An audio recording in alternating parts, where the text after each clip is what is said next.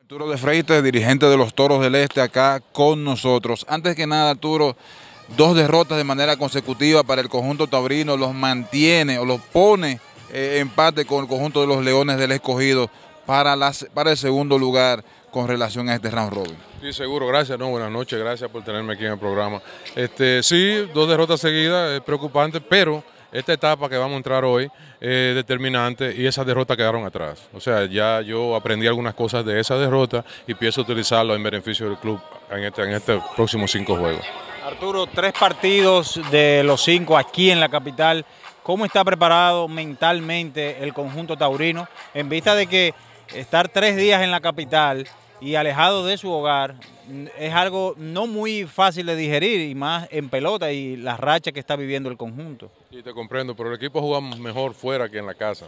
O sea, que eso en, parte también es eh, a favor si seguimos con el ritmo que llevamos, o sea, jugar mejor fuera que en la casa.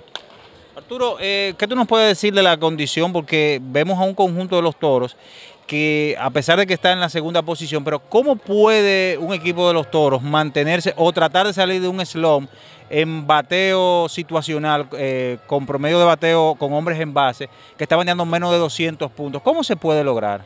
Bueno, es una pregunta un poco difícil de contestar porque nosotros no sabemos qué va a pasar en un juego de pelota, qué va a ser un bateador, pero eso es un punto importante que tú acabas de tocar, que para las aspiraciones nuestras es vital tenemos que batear en situación para poder ganar los partidos.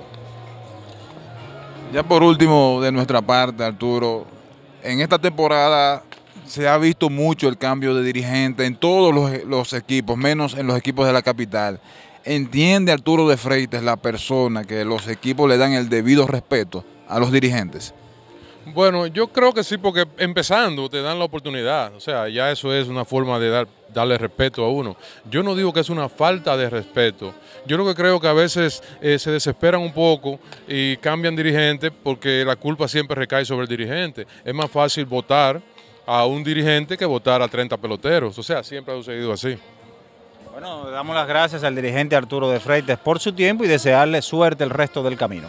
Muchas gracias por tenerme aquí y para adelante. Eh, eh, como digo yo, esto es para hombres en este tiempo.